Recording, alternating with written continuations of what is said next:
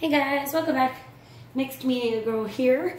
Um, so today I'm going to answer the most common questions about how do I um, finish my paintings. So I have gone over in previous videos how I seal my paintings. So we're not going to go over today that today, but uh, the other common questions are how do I sign it? So these two paintings, they have a specific direction. So I would sign it just down here in the bottom corner.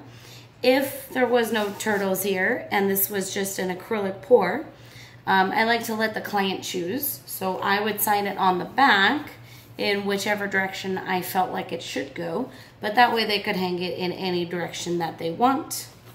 This one, however, goes this way. So that's how I signed it, okay? So then the next question is, what do you do about the sides or the back? They look kind of crummy. Um, I personally don't do anything. I think they're just fine. I leave them as is. Uh, but if it did bother you, then I would just take whatever color paint, white, black, or even a corresponding color. So in this case, maybe like a purple or something, and just paint over that. So I'm gonna just do the back here with some white, although I'm really not that worried about it. Like I said, normally I would just leave it. I don't worry about it. But if you wanted to, you could put a few layers of white paint here, or any color really, just kind of pretty it up. This one I set on like a cardboard box or something, I guess, when it was wet. So it's got a little bit of cardboard on there. So you can paint it with just regular acrylic paint, or you could even spray paint it if you wanted to if you do spray paint it or do something like that, you probably want to tape off the sides and the front. Okay, so that's an option.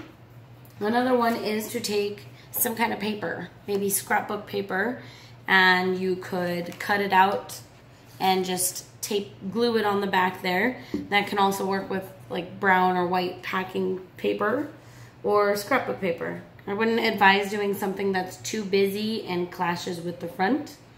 Um, but yeah. And then another question is how do you have it so that the client can hang the picture? Well, how I hang my paintings is I just put a nail in the wall and I just hang it on here. So I leave that up to the client as well, especially since with acrylic pours, they may want to hang it this direction or this direction or whatever, you know what I mean? So if you put a hanging device there and it's the wrong direction, they're going to have to move that.